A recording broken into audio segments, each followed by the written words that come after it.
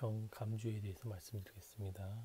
주찬 저자미성이고 1800년대 초엽입니다. 원문이고요. 번역문입니다. 쌀 한 마를 여러 번 씻어 푹 쪄서 익힌 것과 해서 그 빛과 맛은 이루 말할 수 없이 좋다 이렇게 되어 있습니다. 조리법, 밑술 빚기, 덧술 빚기 세 단계, 세 단계, 총 여섯 단계 있고요. 1. 쌀 한 마를 여러 번 씻어 푹 찐다. 2. 찹쌀 한 마를 여러 번 씻어 가루를 내어 끓는 물 세 말로 개어 죽을 만들고 만들어 차게 식힌다. 3.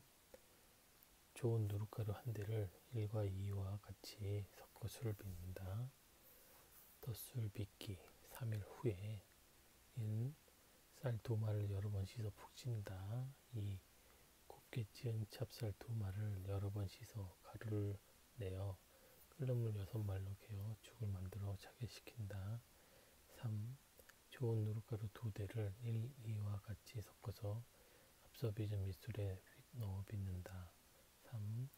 7일 후에 사용한다. 그 빛과 맛은 이루 말할 수 없이 좋다. 이렇게 되어 있습니다.